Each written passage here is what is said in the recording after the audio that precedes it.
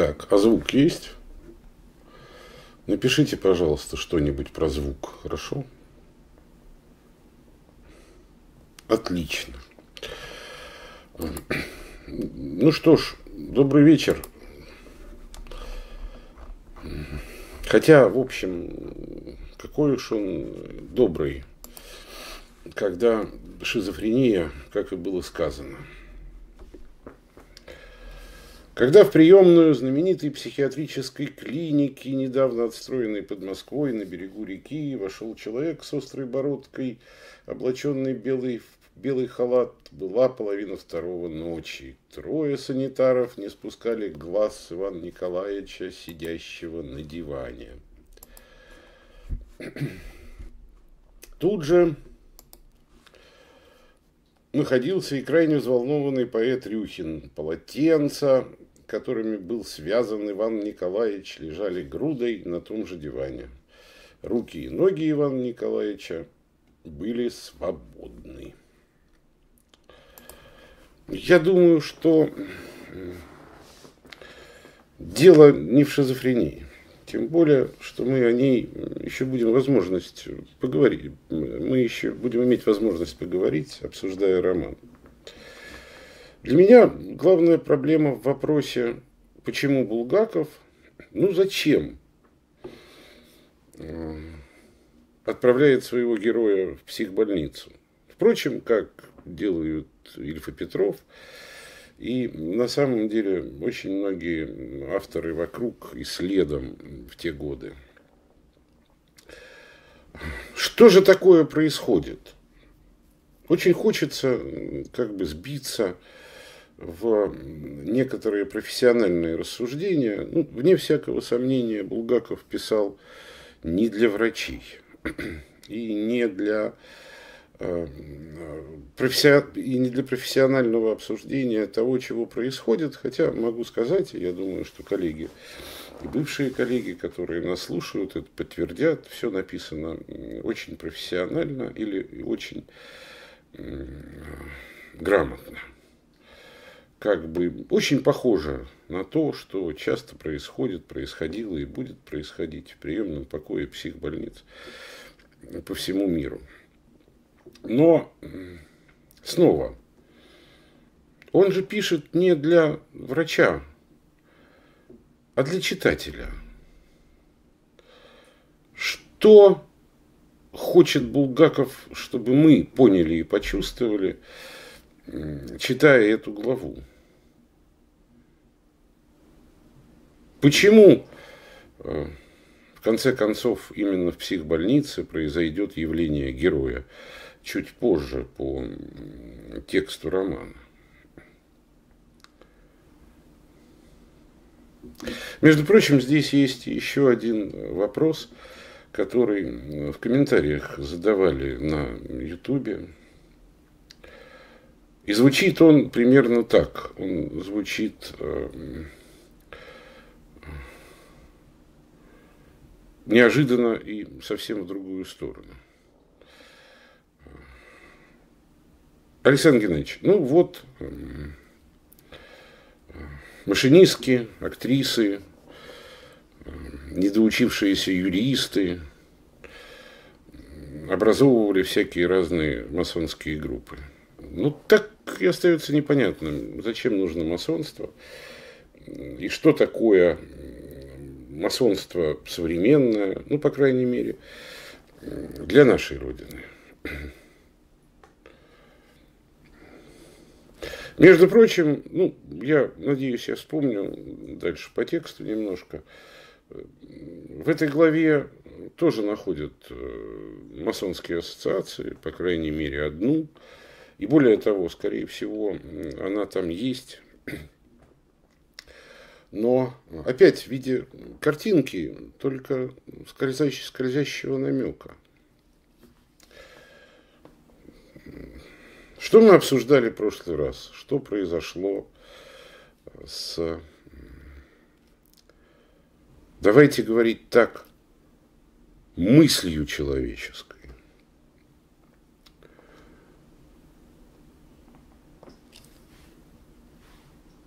Мы с вами говорили о том, что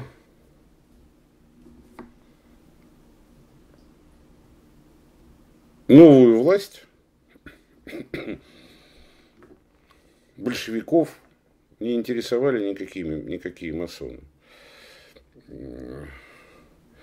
Они и сами были куда более мощной, хотите тайной, хотите явной организацией, которая с огромным презрением относилась к, ко всем этим жалким, э, ставшим буфонадными течениям и учениям, и, несмотря на их попытки сотрудничества, тщательно их уничтожала. Что делала эта власть? Если смотреть на это с психологической точки зрения, если хотите, с точки зрения Булгакова, я вряд ли на это могу претендовать, но тем не менее, когда долго говоришь о книге, где-то рядом с тобой начинает мелькать видение. Что-то вроде тени автора, который тебя то поддерживает, то отрицает. И поэтому хочешь, не хочешь, но все равно идентифицируешься и как бы отчасти все равно говоришь от его имени. А, что сделала эта власть?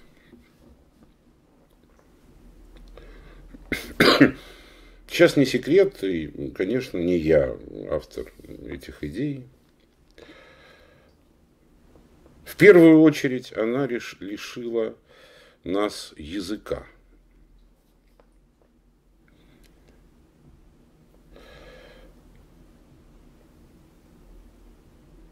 Я не стану говорить, что с точки зрения Мартина Хайдеггера язык есть форма э, бытия человеческой мысли, и не только с точки зрения Мартина Хайдеггера – что значит лишить языка?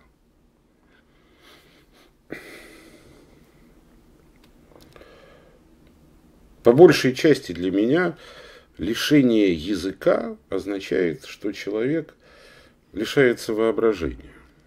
Если говорить точнее, партия претендует на его воображение – и пытается направить это самое воображение в одну строго определенную сторону,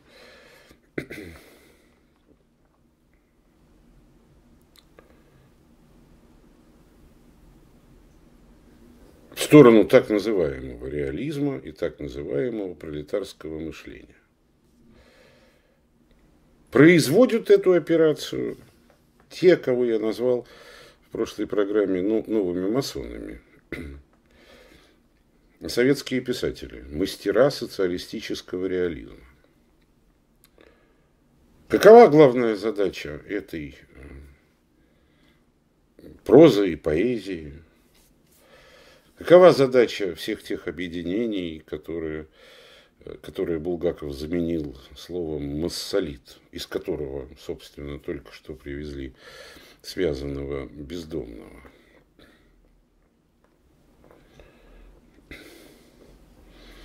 Это задача лишить человека воображения. Именно лишить, потому что а, удивительная вещь, правда? Чисто масонская, тайная задача.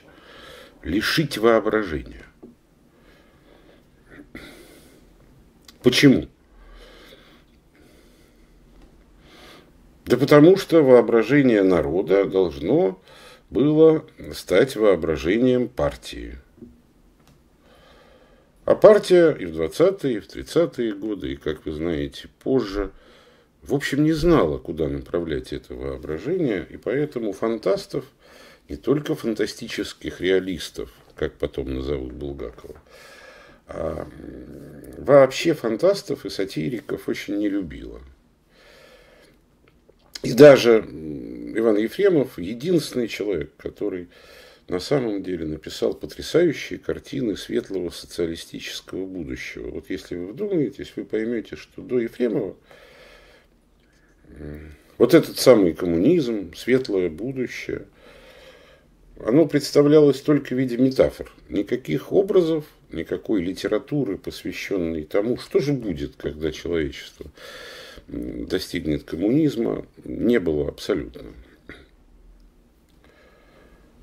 Мечтать можно было только о следующем шаге, о следующем пятилетнем плане, который предлагает партия.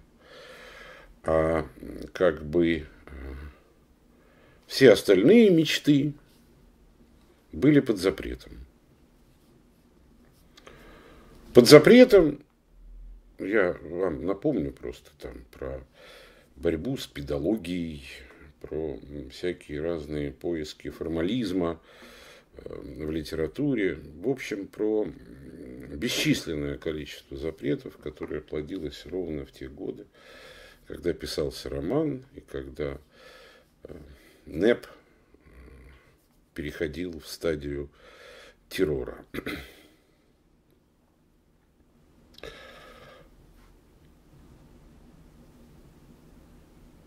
Мы не могли себе ничего представить про это самое светлое будущее. Мы могли только следовать за партией и за ее выдающимися поэтами и писателями.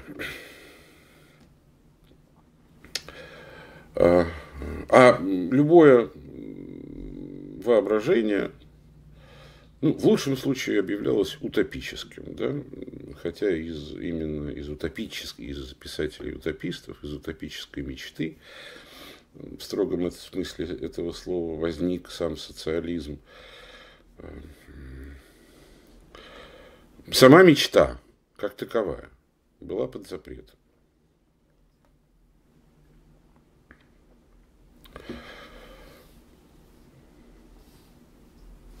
Кем были те самые арестованные, посаженные, расстрелянные масоны конца 20-х, начала 30-х годов? Да и современные масоны тоже.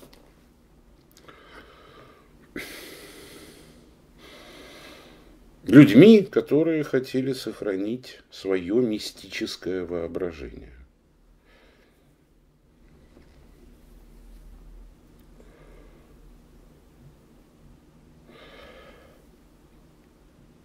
Масонская ложа – это род театра, да, мы же говорили, буфанат. Ну вот вдумайтесь, куда переместились наши мечты, наша возможность воображения, наша возможность мечтать вообще в советские годы. Но если вы задумаетесь, то поймете, что главным образом в театр который отчасти лишь в метафоре, в далекой метафоре, конечно, был чем-то вроде остатка древней мистерии, тайного представления, посвятительского представления масонов. Что такое э, современное масонство? Ну, в общем, театр воображения. В ложе человек может прикоснуться к тем самым внутренним картинкам, э, к тайнам своей души, к архетипам, если вы смотрели предыдущие наши передачи героическому архетипу в том числе, к архетипу посвящения, изменения жизни. И более того, настоящая масонская ложа – это место, в котором неофиту постепенно объясняет, как эту тайну, тайну своего сердца, тайну сердца Христа тайну Евангелия Иоанна, потому что масоны на самом деле большинство ложь иоанниты. Они считают главной своей книгой Евангелия от Иоанна. Самая поэтичная, из четырех Евангелий.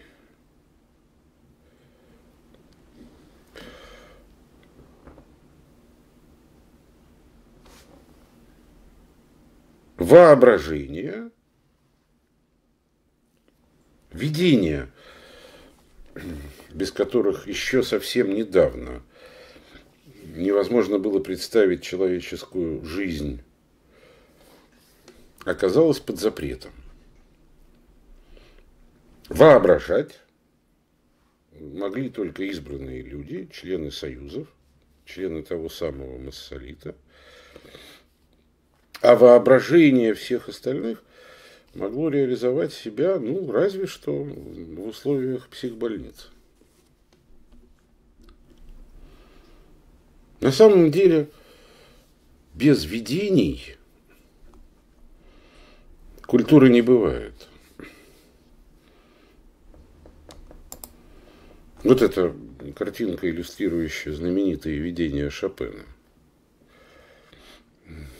Если бы Шопена полечили не в той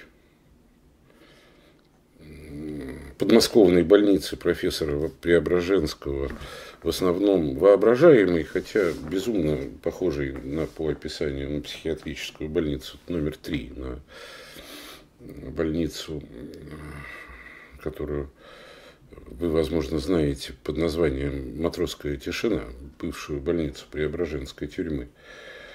А, а если бы его полечили сегодня,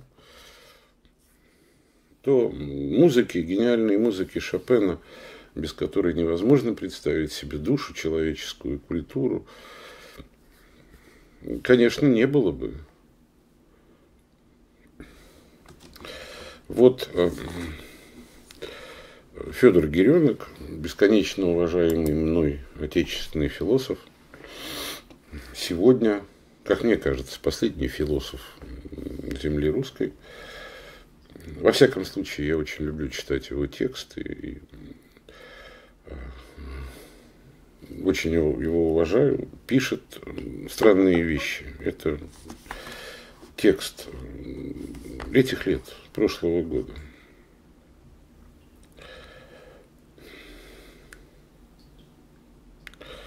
Он пишет о философах-постмодернистах. И, кстати, отчасти, наверное, Булгаков, как писатель, попал бы в их число. Ну, вот вслушайтесь. Очень короткая цитата.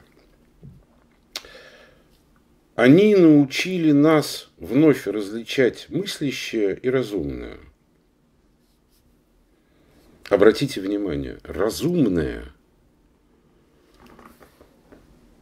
в том мире, в котором был создан массолит – пустые слова, слова без воображения, без сердца, сказали бы мы, без внутренней картинки, которую подразумевает искренность.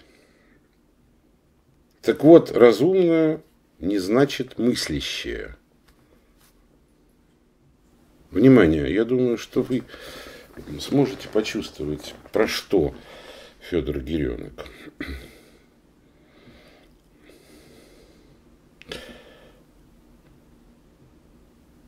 Зато, пишет он, постмодернизм дал нам редкий шанс быть самими собой, самоопределиться.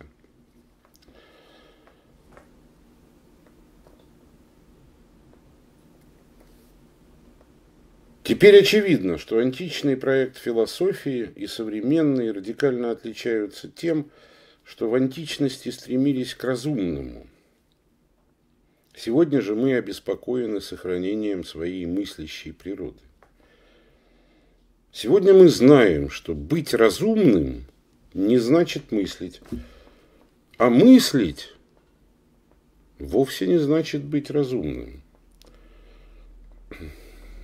Кто хочет мыслить, тот должен перестать играть в классику, рассуждая о сущностях, законах, субстанциях и прочем не основания, а пределы возможного интересуют нас сегодня. То, что есть на пределе, перестает быть тем, что оно есть. В пространстве предела мышление носит не понятийный характер, а парадоксальный. Здесь нельзя сохранить ясный взгляд субъекта. Здесь нет ни истины, ни лжи. Здесь царство чистого безумия.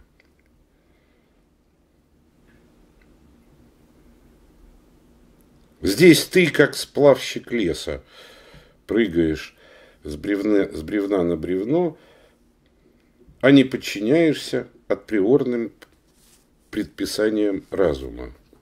Конец цитаты.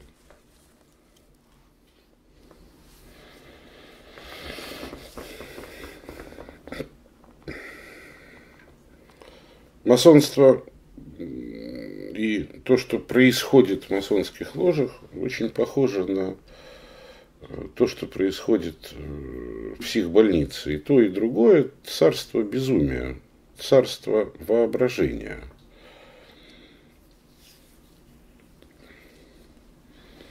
Если хотите, так притягательно безумие для 20 века в целом, для всей его культуры, для кино, для Э, для литературы, даже для музыки. Именно потому, что это царство некоего предела, предела, за которым человек, в общем, способен понять себя. Вот э, Андрей Карапетян не, рисовал иллюстрации к этому эпизоду, к шестой главе, насколько я знаю. Ну вот его иллюстрация к другой книге. Она называется «Носители культуры».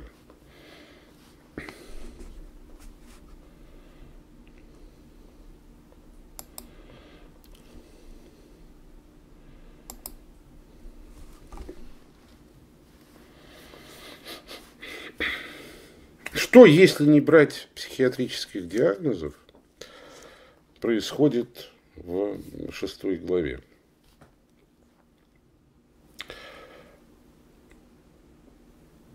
Два человека, никак не профессор Преображенский, а бездомный Ирюхин, два поэта, тесно смешанные, перемешанные, имеющие, видимо, два главных прообраза.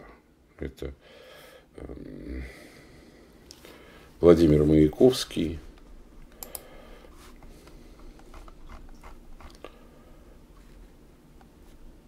И Александр Безыменский, правда, фамилия Безыменский очень близка к фамилии Бездомный.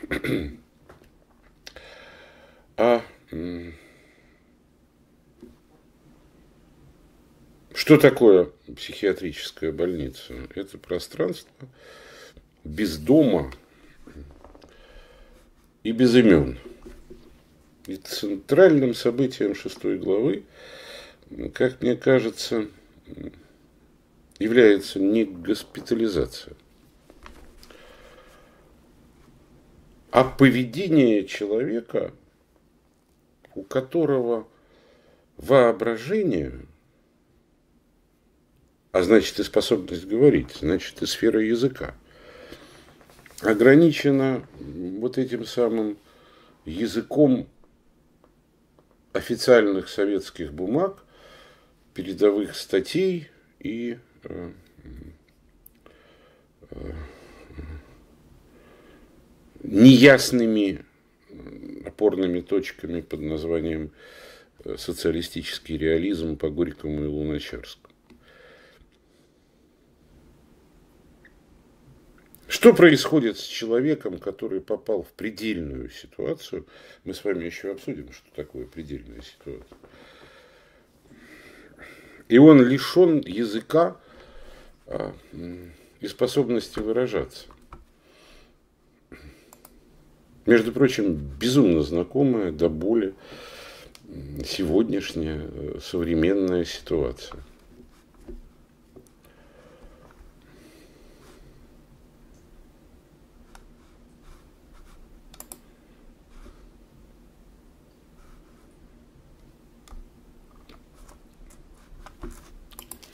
Потерял, где у меня заложена глава.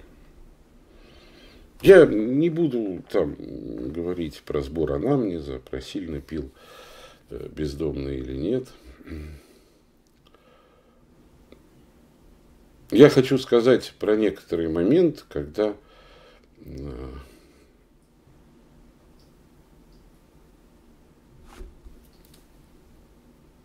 бездомный говорит Рюхину, помните? Нашелся, наконец, хоть один нормальный среди идиотов, из которых первый – балбес и бездарность Сашка. Кто, кто этот Сашка бездарность, осведомился врач. А вот он, Рюхин, ответил Иван и ткнул грязным пальцем в направлении Рюхина. Тот вспыхнул от негодования. Это он мне вместо спасибо, подумал он горько. За то, что я принял в нем участие. Вот уж действительно дрянь.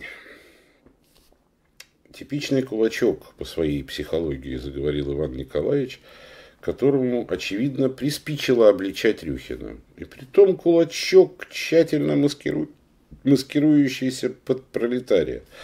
Посмотрите на его постную физиономию и сличитесь теми звучными стихами, которые он сочинял к первому числу. Хе-хе-хе, взвейтесь, да развейтесь. А теперь вы загляните к нему внутрь, что он там думает. Вы ахнете. Ха, Иван Николаевич зловеще рассмеялся. Люхин тяжело дышал, был красен и думал только об одном, что он отогрел у себя на груди змею, что он принял участие в том, кто оказался на поверку злобным врагом. И главное, и поделать ничего нельзя. Не, не ругаться же э, с душевно больным. Смотрите, во-первых, сам этот момент, вот момент, который, кстати говоря, очень хорошо знаком и врачам-психиатрам, и психотерапевтам тоже, и мне, когда тебя тычут, тычут пальцем и говорят, ты говоришь не то, ты лечил меня не так.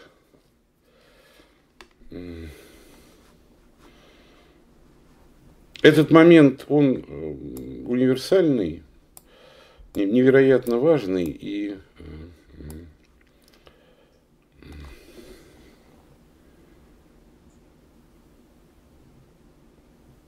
как бы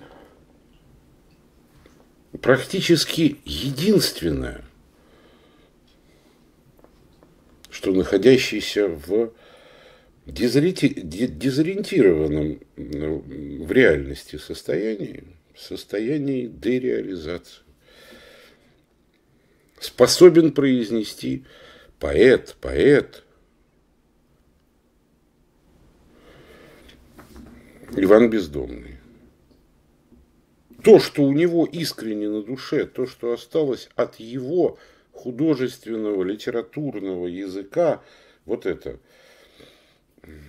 типичный кулачок по своей психологии и при этом тщательно маскирующийся под пролетария.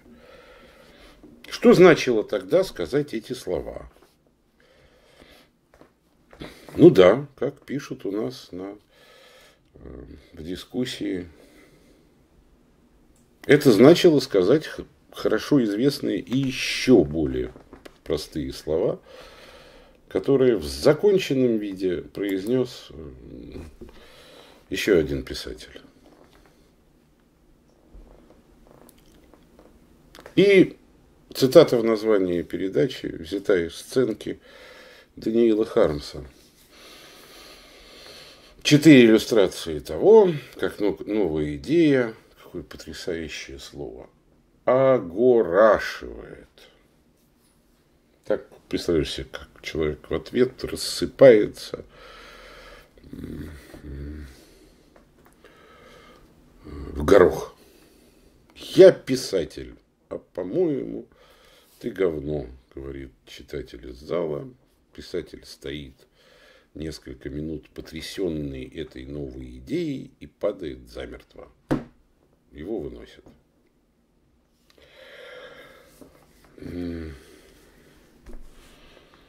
Вообще,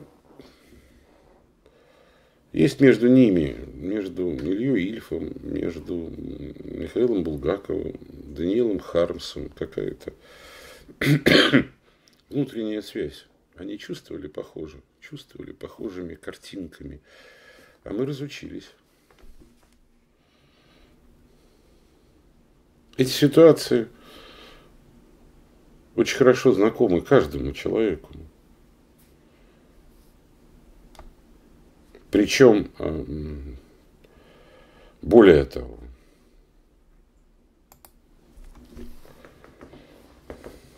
архетипически древнее.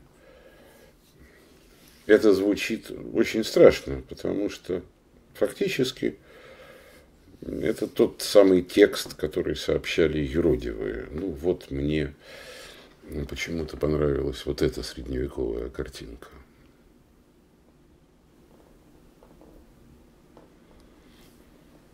Что они сообщали, эти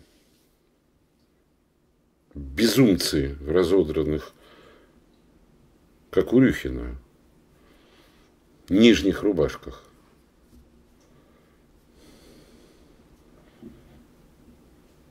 Ну, что ты говно вместе со своими заботами, тревогами земными, что ты забыл о Боге, не думаешь о нем.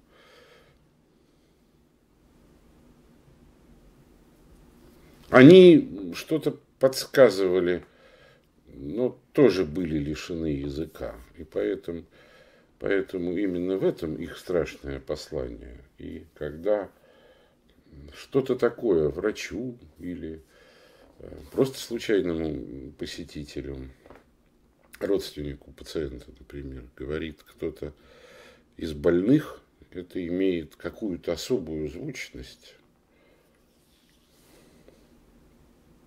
Иван сейчас в состоянии юродивого, только язык у него другой, язык советского зомби, язык кондовый и пасконный, только не русский, а вот этот социалистический новояз. И он, он не может из себя ничего выдавить, кроме вот этих стандартных фраз. Типичный кулачок по своей психологии. Я думаю, что вы знаете, так, что так называли крестьян-середняков, подлежавших уничтожению и раскулачиванию. А, не хочется туда уезжать. И, конечно же, маскирующийся под пролетария.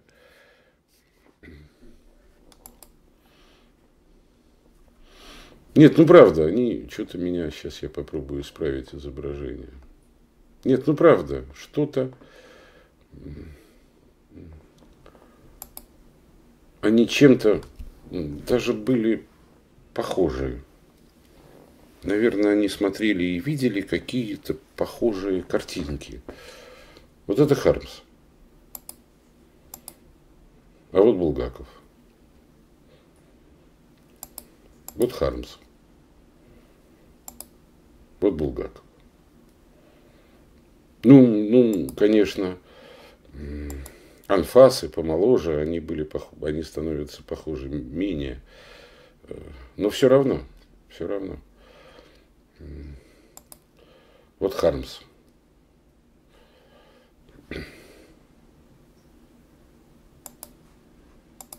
А вот Булгаков. На одну секунду сделаю перерыв. Попробую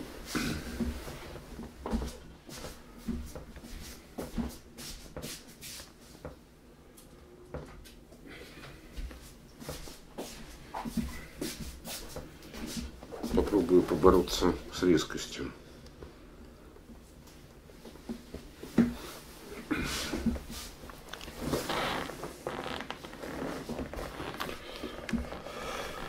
Это я про то же, что у Бога много голов.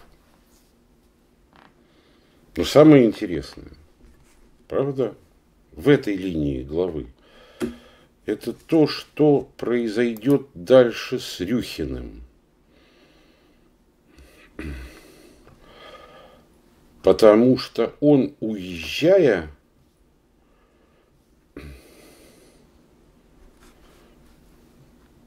думает непрерывно об этих словах.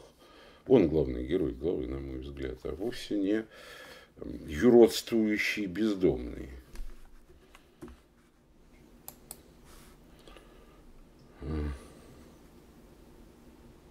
Настроение духа у едущего, это он, уезжая на грузовике, а, переживает. Становилось ясным, что посещение дома скорби оставило в нем тяжелейший след. Рюхин старался понять, что его терзает. Коридор с синими лампами, прилипший к памяти. Мысль о том, что худшего несчастья, чем лишение разума, нет на свете. Да, конечно. И это. Но ведь это так, общая мысль. А вот есть что-то еще. Что же это? Обида? Обида, вот что. Да-да, обидные слова, брошенные бездомным прямо в лицо. И горе не в том, что они обидные, а в том, что в них заключается правда. Поэт не глядел уже по сторонам, а уставившись в грязный трясущийся пол, стал бормотать что-то, ныть, гладая самого себя. Да, стихи. Ему 32 года, в самом деле, что же дальше? И дальше он будет сочинять по несколько стихотворений в год. До старости? Да, до старости. Что же принесут ему эти стихотворения? Славу? Какой вздор! Не обманывай то хоть сам себя. Никогда слава не придет к тому, кто сочиняет дурные стихи. От чего они дурные? Правду, правду сказал. Безжалостно обращался к самому себе Рюхин. Не верю я ни во что из того, что пишу. Как вам это? А,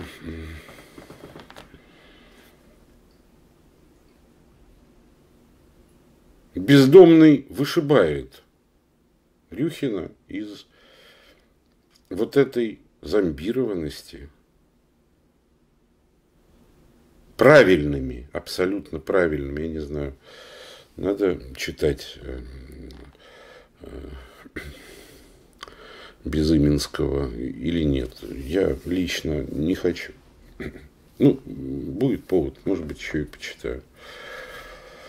Или сами почитаете. Как бы... Э,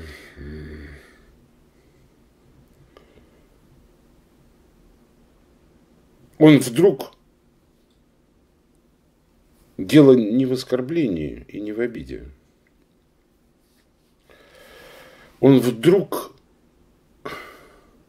напоминает, сдирает с него корку искусственности. Вот этот слой такого правильного, соответствующего требованиям массу лита, власти,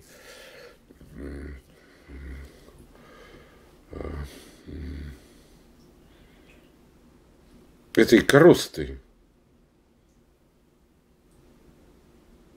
И он вдруг понимает, это же не я. На самом деле все эти стихи, лажа, обман – в нем нет никакого моего воображения.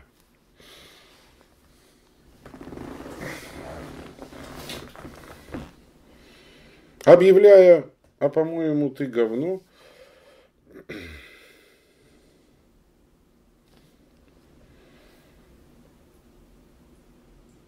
бездомный проводит что-то типа масонского посвящения, ну, отчасти о котором мы говорили в прошлый раз. И а, ну, это так. Мне просто собачка очень понравилась. Ну и, да, ну, как бы...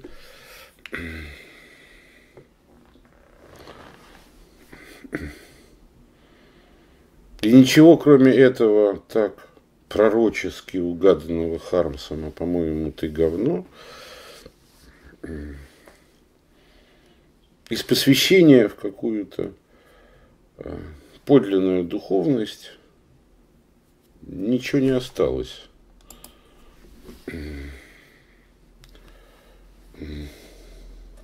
Не пробьешь.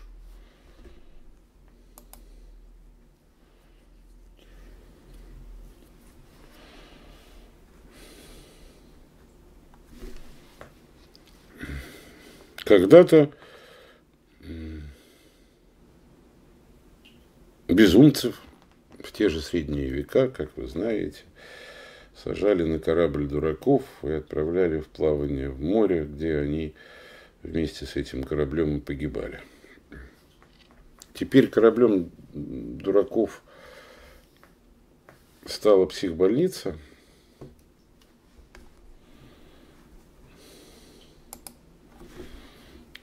Ну, это так одно из современных изображений классического корабля дураков.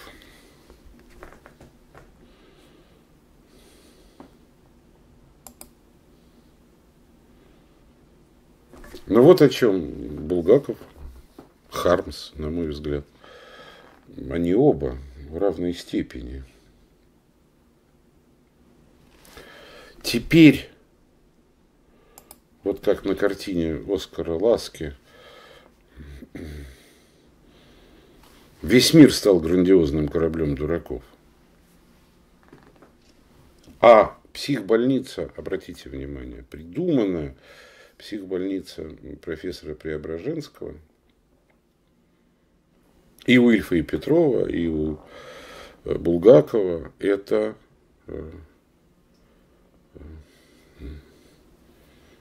Что-то вроде островка разума. Ну, если хотите, или масонской ложи, где спокойно может по-прежнему работать древнее, архаическое, мистическое, э, религиозное воображение человека. Вот в чем смысл. Смысл вовсе не в том, что Булгаков там обвиняет, э, я не знаю, профессора Преображенского в масонстве или кого-то еще. Да нет. Масонская ложа – это место, где э, человек по-прежнему может мыслить древними картинками, может мыслить мистически. И как бы театр и э, психбольница тогда, та идеальная психбольница, нереальная. Это место, где мастер и бездомные смогут мыслить и разговаривать о том, что их правда волнует, об их истинном существе, а не о том, что требует обезумевшая реальность э, окружающего их социализма. Этот корабль дураков, как целый мир.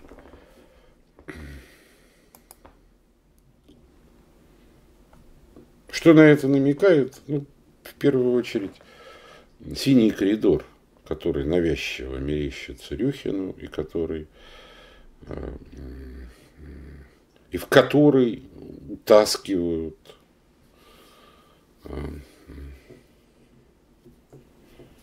бездомного. Когда-то синий цвет ложи и синий свет на стенах в ну, определенных, так сказать, масонских направлениях был цветом низшего первичного уровня посвящения. Булгаков как бы намекает э, ровно на то, что бездомный э, в своей э, ярости юродивого как бы инициирует Рюхина. Кстати, я так проскочил мимо слов. А, это, я напомню, хоть какие-нибудь слова из корабля дураков Себастьяна Бранта. Кстати говоря,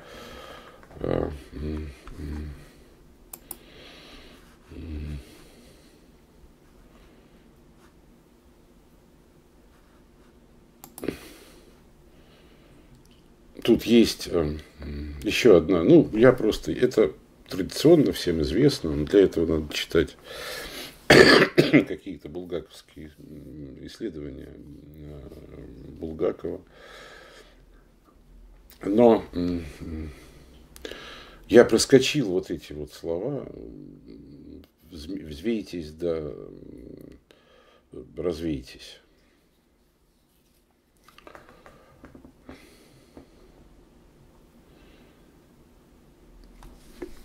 А, Маяковский. В поэме «Юбилейная» называл Безыменского напрямую, Сашку Безыменского, цитирую, «ничто, суррогат морковный кофе». Ну, что, кстати, ни к чему не привело, потому что для инициации требовался вот этот момент обозначенного безумия.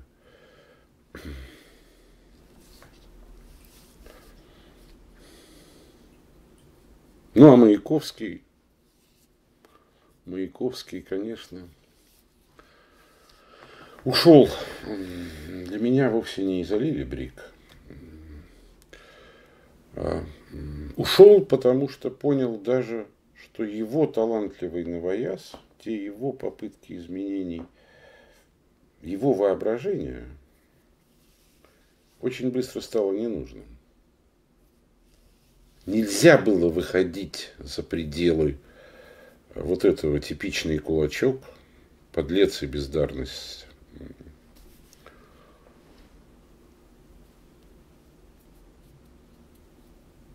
Пролетарское происхождение. Нельзя. Его воображение, буйное воображение, потрясающее, прекрасное воображение тоже стало ненужным. Ну, я снова отвлекся. Хотел-то я сказать, что те звучные стихи, которые Рюхин э, сочинил к первому числу, то есть к первому мая, э, на самом деле сюда вплетаются э, вот это «взвейтесь да развейтесь»,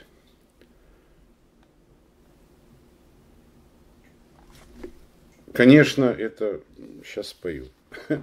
Это в памяти сидит все равно. А, эти слова, э, наверное, из гимна пионеров. «Взвейтесь кострами синие ночи». А, да, а, э, это была очень странная история, потому что по требованию Надежды Крупской, жены Ленина, поэт Александр Жаров не смог написать песню в течение двух недель, и тогда Дмитрий Фурманов посоветовал ему оттолкнуться от чего-то существующего. Тогда он пошел в Большой театр. И там слушал оперу «Фауст» Шарля Гуно, имеющую непосредственное отношение к нашему тексту, к «Мастеру и Маргарите». И а хор «Марш солдат» из оперы «Фауст» Гуно стал а, основой для этой песни. Марш Гуно – адаптировал э, пианист Сергей Дешкин, и гимн пионеров появился на свет. Эта история одна из первых историй украденных, украденной в Советском Союзе популярной музыки.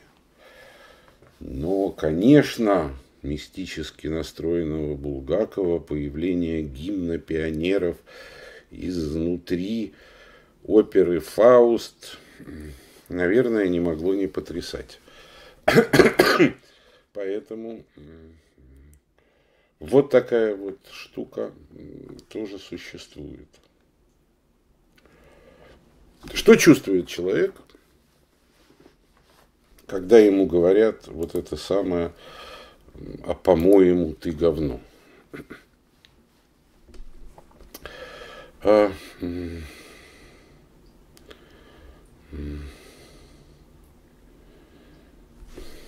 все ведь это знают.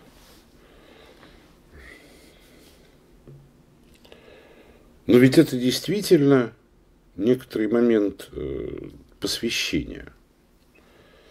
Мне, правда, приходилось слышать это очень много раз. в том числе на автоответчике Радио России. Наверное, там чаще всего. Ну и здесь, в комментариях под Ютубом.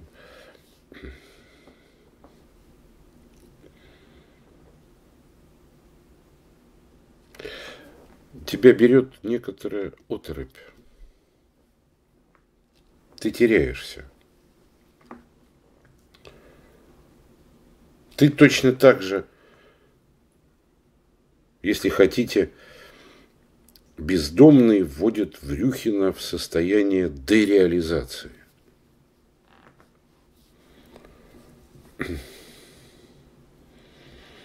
И как ни странно, это оказывается, все это оказывается, в общем, необходимо для мыслящего человека –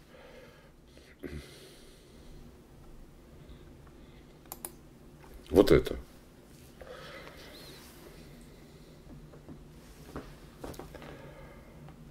Поскольку снимает ту самую гордыню мысли, ты перестаешь думать о популярности, например. И начинаешь изнутри либо искать каких-то оправданий самому себе, доказывать себе, что ты не говно, что тоже бывает э, очень важно иногда, потому что те аргументы, которые в, этом, в этой растерянности, в этом шоке поднимаются со дна души, оказываются очень важны. Чаще ведь ты говно говорит не читатель, не Ваня Рублев, не физик и чаще всего их говорит любимый человек. Впрочем, зритель, читатель.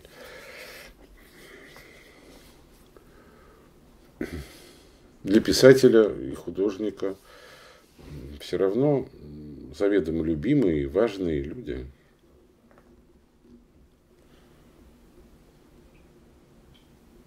Когда мир рассыпается, то, что поднимается у тебя изнутри, становится очень важным и характеризует тебя как человека. Вот ты надеялся, что человек тебя любит, будет твоей Маргаритой.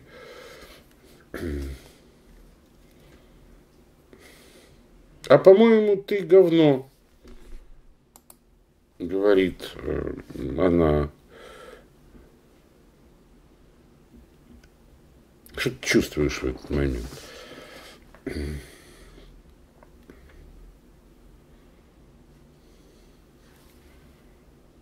Ты должен снова найти себя, потому что то говно, в котором каждая она каждый раз – обвиняет мужчину или наоборот.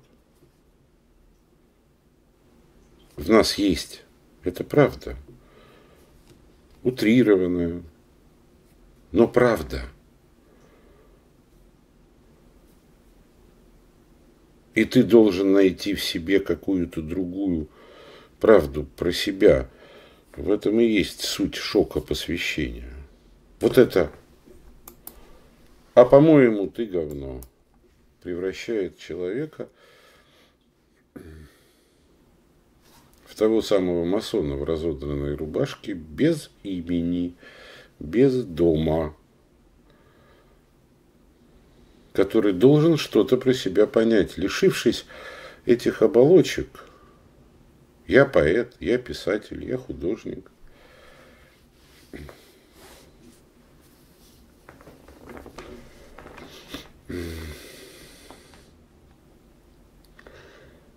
На самом деле Рюхин реагирует на это посвящение ужасно. Он безнадежен, кем бы он не был в прообразе своем. Почему безнадежен?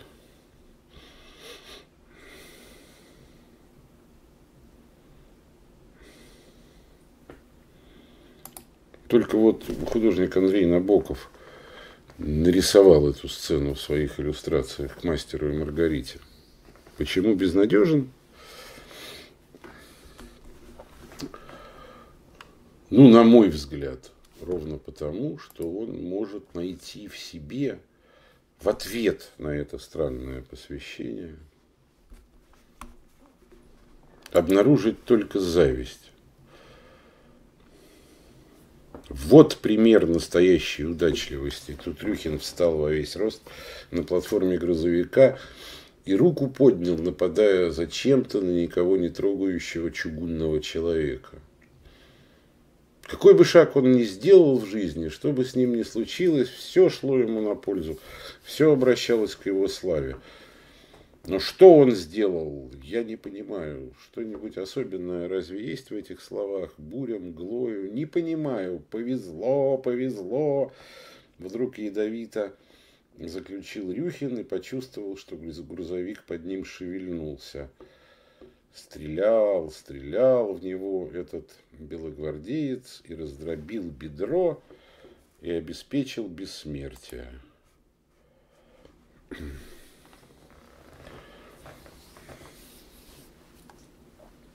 Ничего подлинного не может э, обнаружить в себе Рюхин. Все высохло. Он обнаруживает только зависть к Пушкину. А стать Пушкиным, почувствовать что-то истинное, что было у чугунного человека, у этого главного московского памятника – он не в состоянии.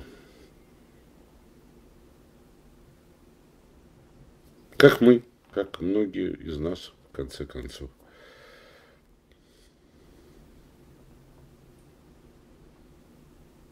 Все зависит от того, что ты обнаружишь в себе в ответ на эти слова.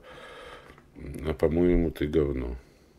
Осталось тебе что-то искреннее, неговенное –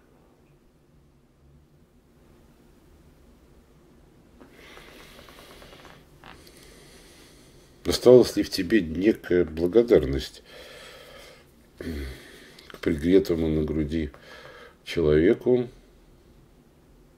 который вдруг с ненавистью тебе это сказал?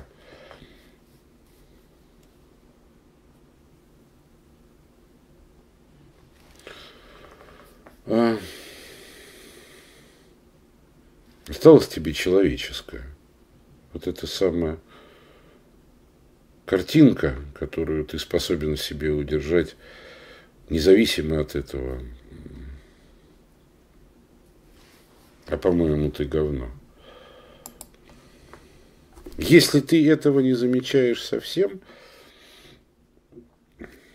значит, тебе нет человеческого. Ты мертв, как Рюхин.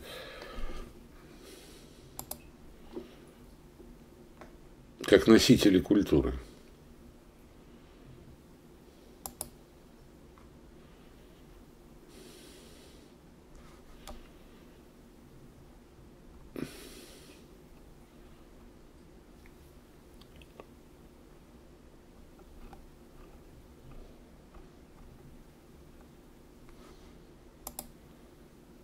Понимаете, в чем проблема? Проблема в том, что если в ответ на слова, по-моему, ты говно, писатель правда падает замертво,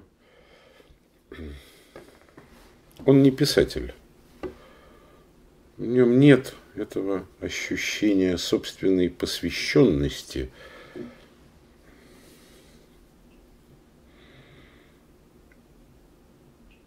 И художник не художник, и композитор не композитор, и физик не химик.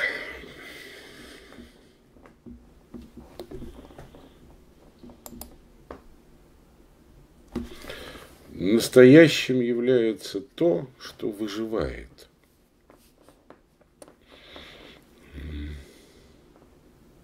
И вторая тема выживания тоже – между прочим, очень страшная тема этой главы. А, мне очень нравится, правда, прекрасный спектакль поставила студия театрального искусства под э, руководством Сергея Женовача. Вот э, бездомного вытаскивают тот самый коридор с синим светом. И при некотором приближении это особенно унизительно. Смотрите, как интересно. У Булгакова, конечно, этого нет. Но художники обязательно находят в этом женское.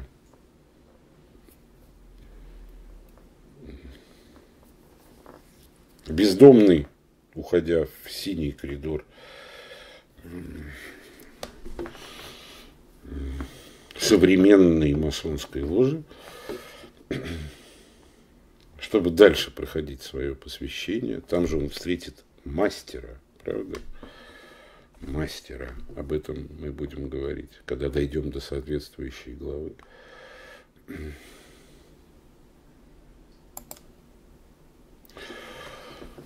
Остался только один вопрос. Почему психбольница? Я так на него и не ответил, между прочим.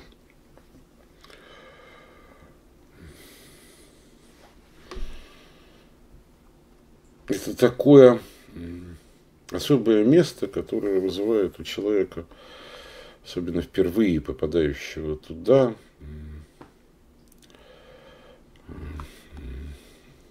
и вызывает у Ивана Бездомного некое чувство совершенно особенное, и о котором полезно бы вспомнить коллегам. Чуть дальше Булгаков скажет так.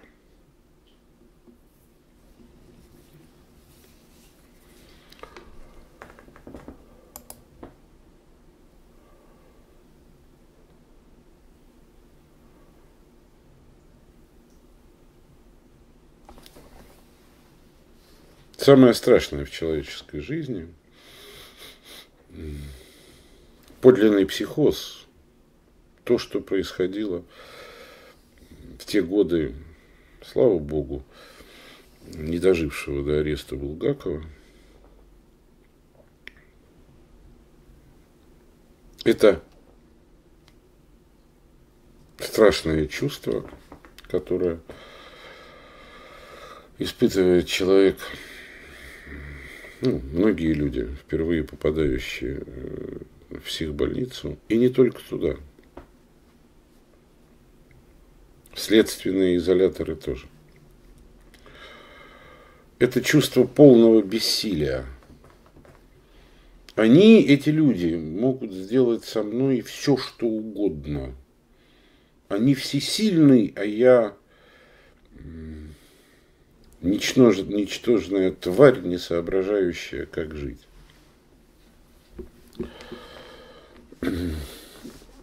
Стокгольмский синдром может развиваться в целой стране.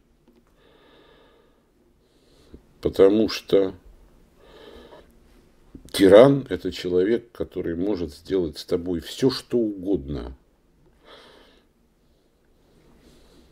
И психбольница с ее уколами – это место, которое может сделать с тобой все, что угодно.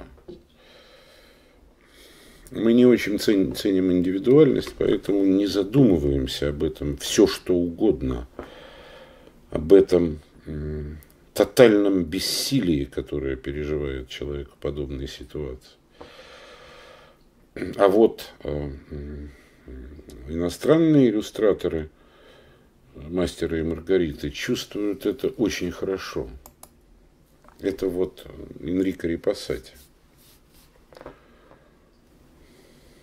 Это гнев бессилия. Они могут сделать со мной все, что угодно.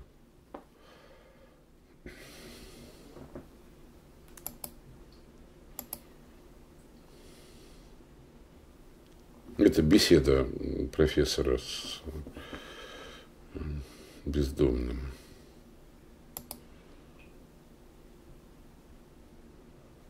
Ну а дальше, дальше, да, от этого бессилия и ужаса перед ним.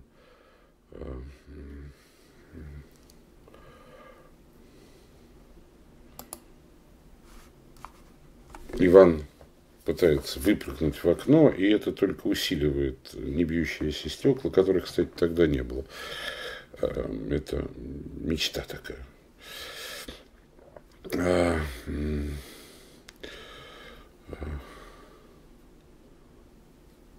и не бьющиеся стекла, вот это ощущение тотального бессилия, они могут сделать со мной все, что угодно, как на гравюре Александра Федорова, только усиливается. Ну, а дальше следует успокоительный укол, тогда их было очень-очень мало. И вот тут, да, и вот тут появляются загадочные красавицы медсестры, которые по-своему говорят, а по-моему, ты говно, становясь свидетелями самого страшного для мужчины, его полного бессилия, его неспособности что-то изменить или что-то сделать, чтобы выбраться из унизительной ситуации. Так чувствуют художники.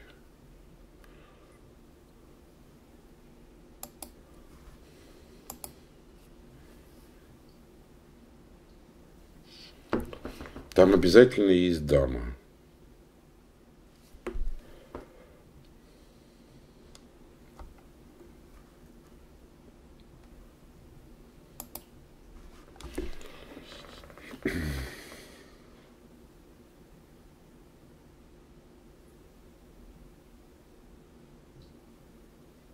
Психбольница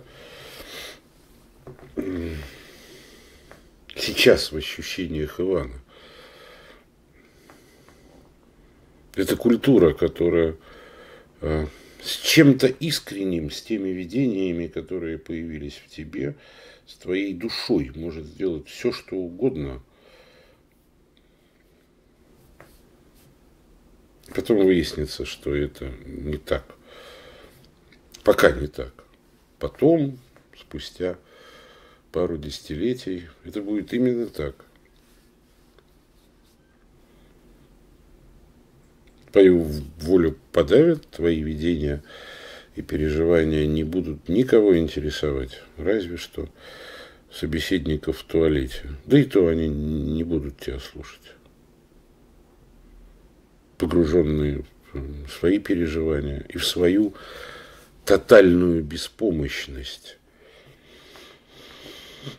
Этот укол, это состояние Ивана, на которое обращают внимание художники, это тоже ведь предчувствие того, что будет спустя совсем немного времени.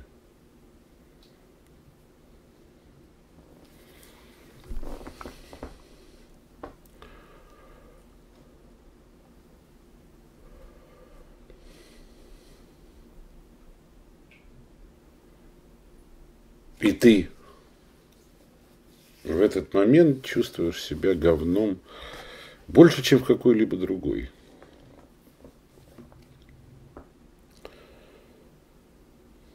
И поэтому, да, там обязательно присутствует женщина как свидетель твоего предельного унижения.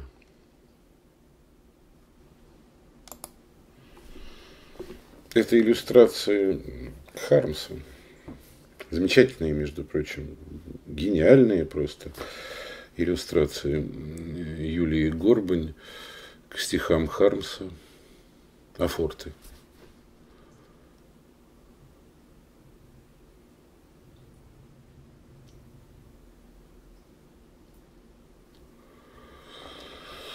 И, наверное, эти строки вам знакомы. Мне было так лежать нескладно, был глуп и слаб.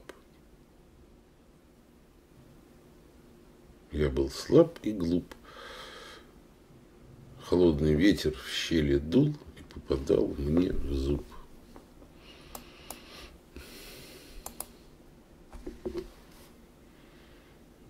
Ну и один из примеров нашего новояза по Хармсу, который захлестывает нас снова и снова.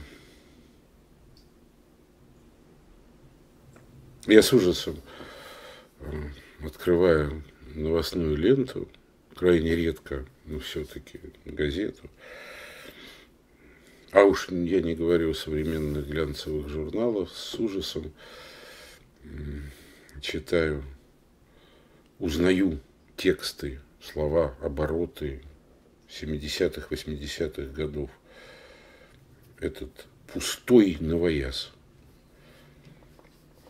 Тут это, это не есть то. Это было то. Это еще красиво, хорошо.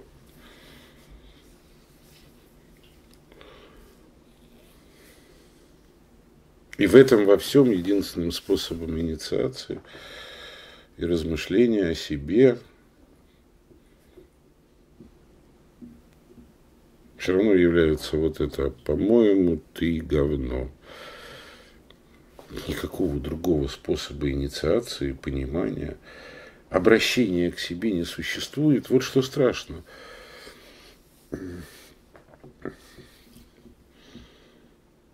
Ну, даже разговаривая об этом, как я надеюсь, мы с вами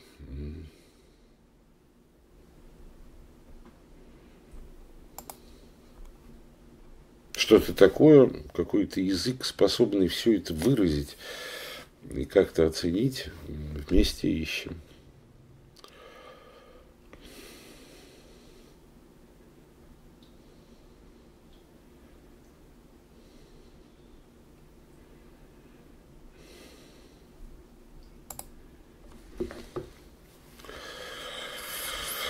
А, найдутся ли силы в такой ситуации остаться избранным? Должны найтись.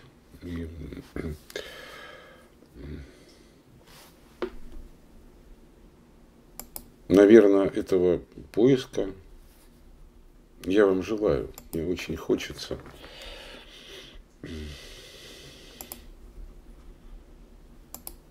что появилось что-то другое. То, что на самом деле делал Михаил Булгаков, он возвращал нам картинки, возвращал подлинное воображение.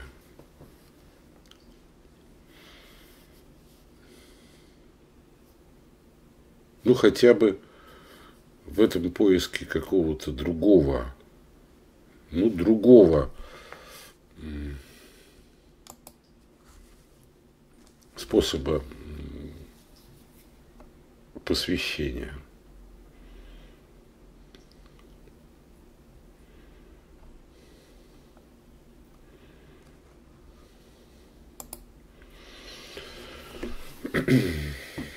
Так Владимир Яновский изобразил видение Ивана – которые он пытается сообщить. Но для сообщения которых не находит языка. Он его потерял вместе с воображением. Ну вот. А дальше, наверное, я начну ходить по кругу. Спасибо вам большое за внимание и терпение. А, есть странная тема для следующего разговора.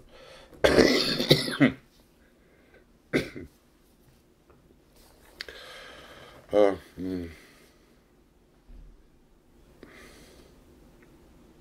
что самое страшное в будущем? Вот один мой корреспондент назвал это, это процессы, которые у нас идут, в том числе связанные с изображением, с исчезновением воображения и языка, э, роботизацией. И я подумал, что это очень правильно. Поэтому давайте назовем программу ближайший вторник «Антиробот». Может быть, я предложу какой-нибудь проект, а может быть, мы поговорим о том, что я, что я и этот мой корреспондент имеем в виду под роботизацией и, как всегда, как с ней бороться. Спасибо вам большое. Э, со всеми прош... и с наступающим, последним, старым Новым годом. Есть в нем что-то абсолютно мистическое. А, да, какой-то повод сказать себе, да, по-моему, ты говно. Давайте жить дальше. А, Антиробот – это программа, которая будет после праздников. Спокойной ночи.